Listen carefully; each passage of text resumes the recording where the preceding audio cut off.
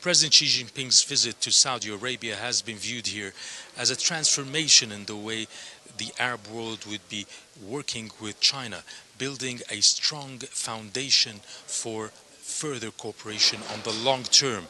And President Xi himself has also launched what is called the Eight Major Common Action Plan, where China will be supporting the Arab world in various sectors, from development through projects, financing projects for infrastructure, uh, zero tariffs for least developed countries in the Arab world, financial assistance through the Asian infrastructure uh, bank, as well as trying to help through infrastructure projects in the uh, different uh, different Arab uh, regions.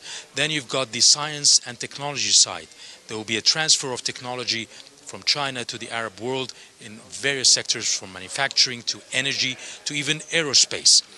About uh, 1,000 uh, Arab uh, citizens will be taken from different uh, sectors will be going to China for training in tourism, in technology, in science every year and to transfer this knowledge back to the Arab world.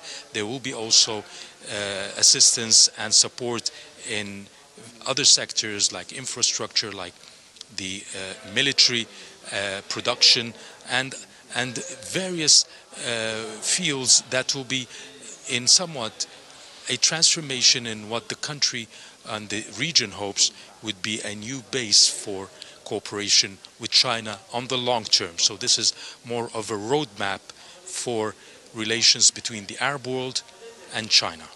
Yasser Hakim for CGTN in Riyadh, Saudi Arabia.